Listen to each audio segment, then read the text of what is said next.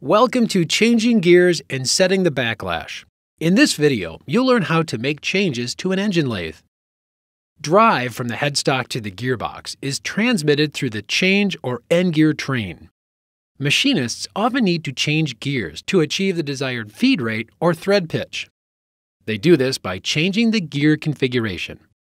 The number of gear teeth, which is stamped on the gear, determines change gears. Change gear configurations and the corresponding feed and thread pitches are found on the data plates at the front of the headstock. To change gears, begin by properly locking out the electricity to the machine. Open the end guard door. Determine the proper wrench assortment. This is a metric machine, so only use metric wrenches. Adjustable wrenches should never be used.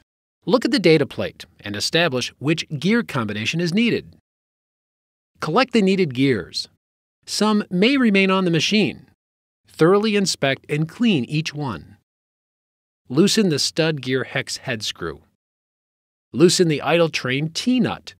Don't loosen the idler train T-bolt at this time because you want the gears to stay engaged. Loosen the output shaft gear nut. The output provides power to the change gearbox. It's the bottom gear in the train. Remove the two nuts and bolts once they're loose. Remove the stud gear. It's at the head of the gear train and is driven by the spindle gears. Remove the drive gear on the idler shaft. The drive gear is in mesh with the output gear. Remove the spacer that's between the drive gear and the driven gear on the idler shaft.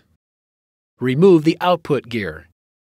And finally, remove the driven gear. It's meshed with the stud gear or the top gear. Now let's look at the other parts that make up the change gear configuration.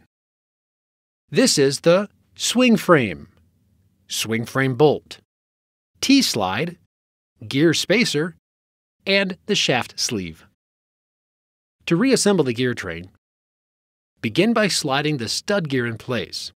Make sure you have the stamped gear tooth numbers showing. Next, hand tighten the stud gear bolt. When reassembling the gear train, Make sure to keep your fingers clear of any pinch points between the gears. Rotate the swing frame up before lightly tightening its bolt. Loosen the T-slide bolt.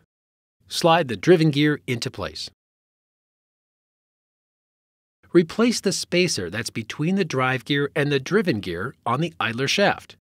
When you've completed reassembling, all of the gears should be flush with one another. Next, slide the drive gear into place.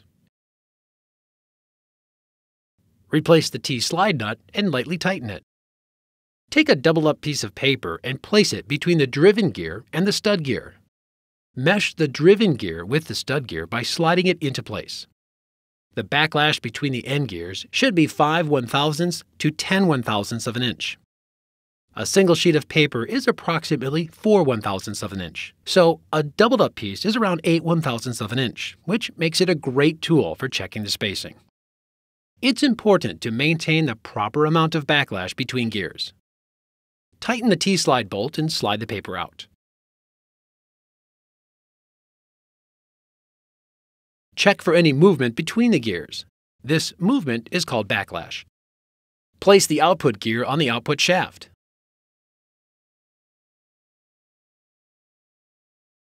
Place a new doubled up sheet of paper between the driven gear and the stud gear. Hold the driven gear in one hand while loosening the swing frame bolt. Let the driven gear down and gently mesh it with the output gear. Tighten the swing frame bolt and slide the paper out. Check for any movement between the gears. Finish tightening the output shaft gear nut. Tighten the idle train T-nut and recheck the tightness of the idler train T bolt. Tighten the stud gear hex head screw. Check the entire backlash between the gears and make sure all meshed gears are flush to one another. Close the end guard door. Finally, remove the electrical lockout. To check your work, start the machine and turn the spindle on. The gear train should run smooth. If it's noisy, you may need to adjust the gear train to avoid damaging the end gears. If the machine is running smoothly, you've correctly changed gears and set the backlash. You can now begin working. You've completed changing gears and setting the backlash.